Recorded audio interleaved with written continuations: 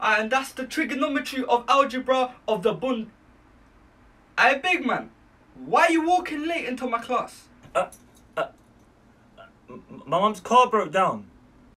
Nah, sir, he's lying in it. He was giving that homeless guy head. Oh, what the hell? Nah, nah, nah, he's lying, sir. I wouldn't do anything like that. Alright, big man, you, yeah? Shut up. You're on my ends. Sit down. And you? You're late, bruv, yeah? Come sit down before you get dashed. Alright, sorry, sir. But one thing, I forgot my pencil. Ah, you're lucky your man's packing. That's what she said. Shut up. Anyway, take the pencil, yeah? Right, just shut up, yeah? Alright, where was that? Oh, yeah. Bunda.